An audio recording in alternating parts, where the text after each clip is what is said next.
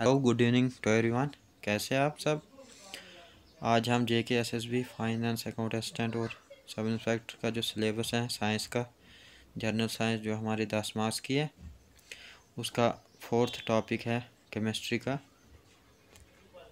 Various sources of energy इसमें हम पहले एनर्जी के बारे में पढ़ेंगे एनर्जी क्या होती है, फिर सोर्सेज मतलब ज़रिया जहाँ से एनर्जी हमें प्रोवाइड होती है। वो कौन कौन से एरियाज़ होते हैं, कहाँ कहाँ, कौन सी कौन सी जगह होती ठीक।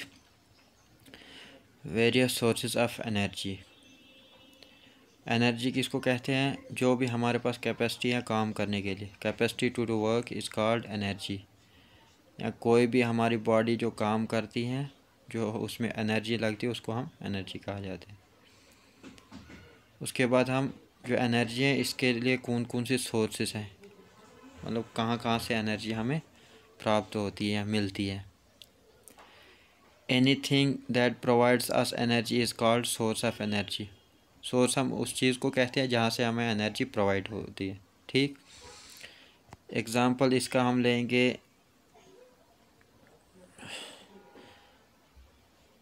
कौन सा कौन सा है? पहला, सबसे पहला सोलर एनर्जी जो सन के ज़रिए से विंड एनर्जी जो हवा बायोफ्यूल और बायोमास जो लिविंग डेड एनिमल्स जो हमें प्राप्त होता है। उसके बाद जियोथर्मल एनर्जी जो अर्थ के ज़रिए से हमें प्राप्त होती हैं, मिलती हैं प्रोवाइड होती हैं। Wide range of energy sources such as sun wind geothermal energy flowing water coal natural gas biogas extra ये बहुत मतलब वाइड रेंज पे हमें मिलती हैं। ओके। उसके आगे क्या बोलते हैं? We use energy to perform various activities कौन कौन सी एक्टिविटीज़ हम करते हैं एनर्जी के द्वारा?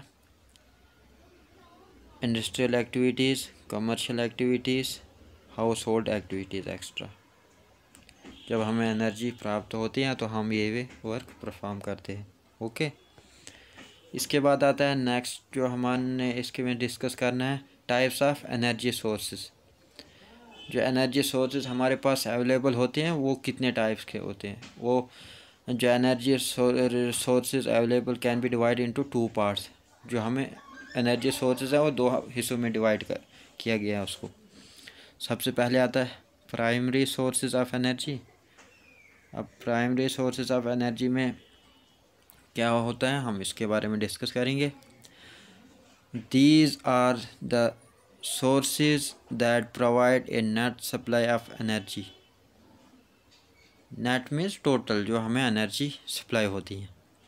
वो प्राइमरी सोर्स के थ्रू होती है। उसका एग्ज़ाम्पल है coal oil uranium extra uranium जो न्यूक्लियर एनर्जी के थ्रू हमें प्रोवाइड होती है।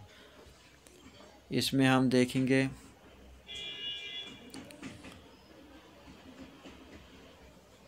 आगे क्या लिखा है? The energy require to obtain these fuels is much less than the energy these resource provide produce sorry मतलब जो एनर्जी हमें इस एनर्जी को निकालने में जो हमें फ्यूल यूज़ होता है, वो बहुत कम एनर्जी यूज़ करता है। उससे जितनी हमें वहाँ से प्रोड्यूस होती है, वहाँ से जितनी हम रिसोर्स मतलब जहाँ जितनी एनर्जी हमें वहाँ से प्रोवाइड होती है, हमें यहाँ से जो, जैसे हम कोई इनपुट लगाते हैं प्रोडक्शन उसकी अगर आउटपुट ज़्यादा हो तो मतलब हमारे पास गुड फ्यूल या गुड सप्लाई ऑफ़ एनर्जी उसमें अपटान होगी। जैसे इसी इसी में हम एग्ज़ाम्पल ऐसे लेते हैं।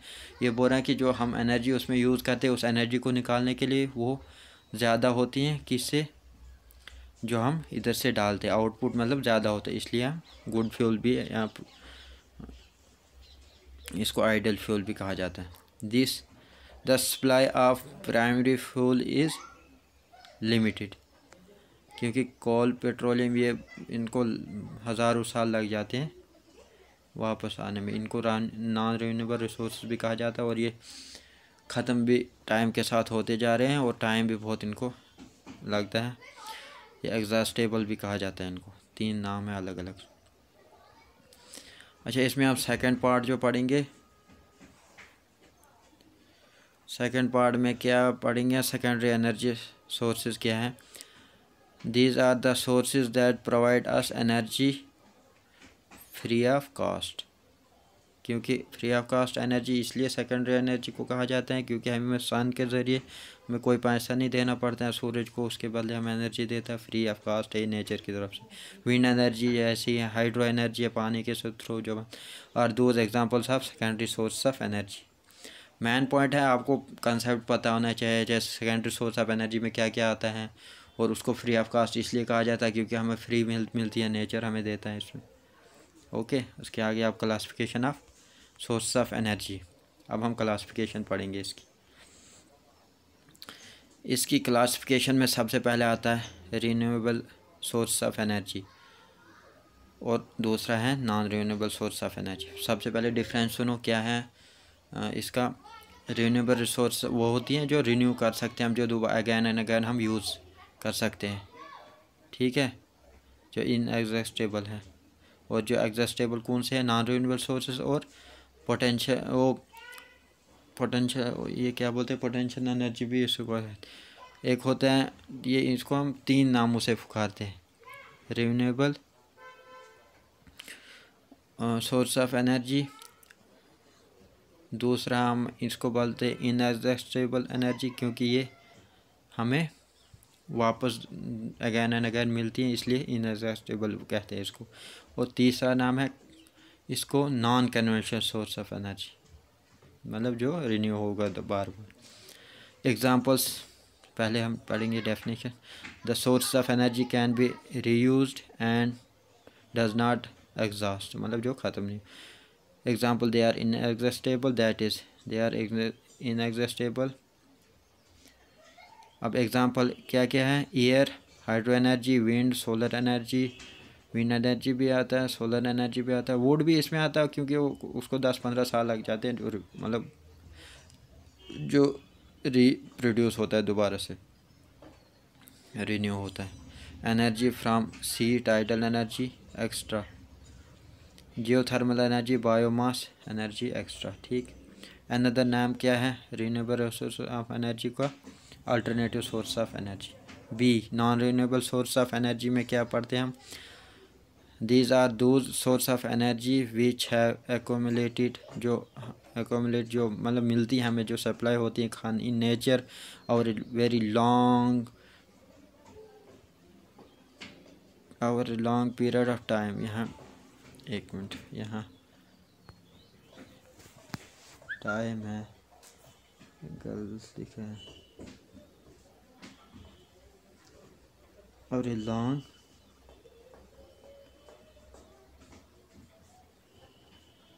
टाइम है यहाँ पे लिखना है इसकी जगह। और a long time and can not be quickly replaced when exhausted are called non renewable source of energy इनको क्या कहते हैं?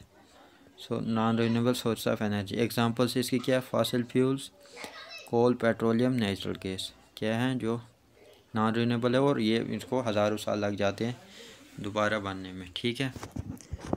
उसके बाद हमारा आता है इसके एग्ज़ाम्पल्स फासिल फ्यूल्स दूसरा एग्ज़ाम्पल आता है मैन न्यूक्लियर फ्यूल्स यूरेनियम जिसको कहते हैं। अच्छा non renewable source of energy are dug out from the earth ये ज़मीन के अंदर होते हैं क्योंकि ये बायो उसके जो प्लांट्स एंड एनिमल के डेड रिमेन से उनसे बनते हैं। Also called exhaustible source of energy भी कहा जाता है इनको। और क्या कहा जाता है? कन्वेंशनल सोर्सेस ऑफ़ एनर्जी, जो रिन्यू नहीं होते। ओके, ये टॉपिक था। इसके अगले जो नेक्स्ट लेक्चर होगा, उसमें हम पढ़ेंगे conventional and non conventional source of जो हमारे सिलेबस में अलग से टॉपिक है। फिर और चार टाइप्स की जो हमें एनर्जी पढ़नी है, वो है सबसे पहले बायोमास एनर्जी फिर हैं विंड एनर्जी सोलर एनर्जी और टाइडल एनर्जी ये चार एनर्जी अलग अलग पढ़ाऊँगा मैं। नेक्स्ट लेक्चर जो होगा convention non conventional source of energy में और थर्ड लेक्चर होगा जो चार एनर्जी अलग अलग दिए हैं। तीन लेक्चर में मतलब ये पूरा टॉपिक ख़त्म हो जाएगा। ठीक है? अगर आपको वीडियो पसंद आए तो लाइक सब्सक्राइब और शेयर कीजिएगा। Okay thank you thank you to